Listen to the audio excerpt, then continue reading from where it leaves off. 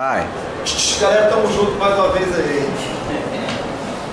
Seja E, seja alfa pertencente a R, e seja F uma função de RR definida por aqui da função, tudo bem?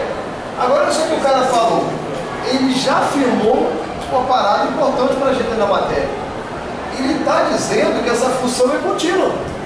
Nos outros exercícios ele, ele falava, diga se a função é contínua, você tinha que analisar e dar uma resposta. É ou não é? Nesse caso não. Lembra o carinho? Calcule alfa para que f seja contínua em x igual a 3.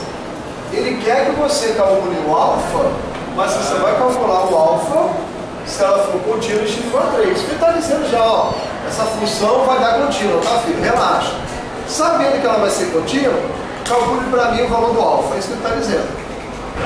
Mas de qualquer jeito, nós vamos aplicar as três condições.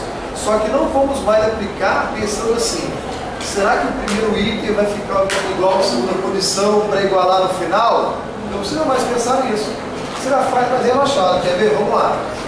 Primeira condição, tem que existir o f de A, né? Mas a gente já sabe que vai existir. Vamos ver só quanto é que dá.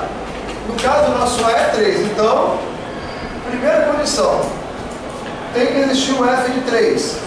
O cara já falou que é contínuo, então existe. Quanto é que dá f de 3? Tem que olhar onde, né? Quando x for igual a 3, a resposta está dando quanto aqui mais? 2 alfa. Então acabou o primeiro item? Acabou. O f de 3 deu 2 alfa. Segunda condição, eu já sei que vai existir o limite. Porque o cara já falou que é contínuo. Calcule o alfa para que f seja contínuo, em x igual a 3. Então ela é. E eu vou calcular quanto é que dá o alfa, entendendo que ela é contínua. Então, o limite da função quando x tende a 3, eu sei também que ele existe. Só vou saber quanto é que dá agora. Bom, lembrando que no cálculo do limite, eu nunca posso sair de cima do cara em questão, do número em questão.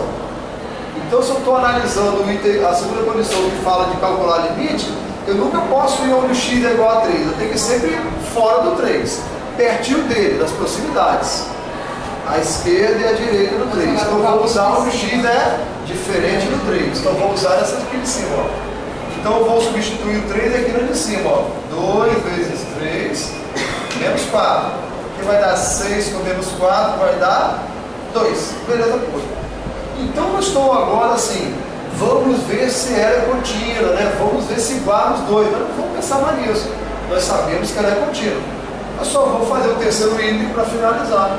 A terceira condição diz o f de 3 é igual ao limite da função quando x tende a 3 eu não vou ficar me questionando se é igual ou não é, eu sei que vai ser igual. Só que agora, olha o f de 3 quanto é deu? 2 alfa. O deu quanto? 2. Está multiplicando? Passo 2 aqui para baixo dividindo. O alfa vai ser 2 sobre 2. Sacaram exercício? Então esse modelo, ele não está pedindo para você escrever é contínuo, é descontínuo não. Ele falou, ó, calcule o alfa considerando que ela é contínua eu apliquei as três condições e achei o alfa que vale 1. Belezinha?